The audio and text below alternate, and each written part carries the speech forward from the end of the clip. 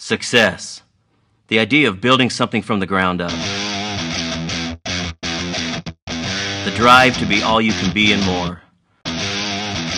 Over 22 years ago, I started my career in martial arts. Within just a few short years, climbing the organizational ladder to success, trophies, accolades, titles, studios, managing, developing, traveling the world and making it happen.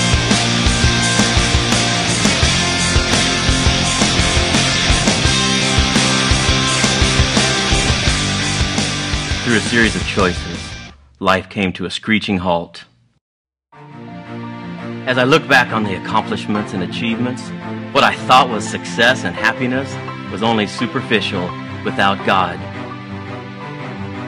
In Deuteronomy 8, God is speaking to the Israelites, and He says, You shall remember the Lord your God, for it is He who is giving you the power to make wealth.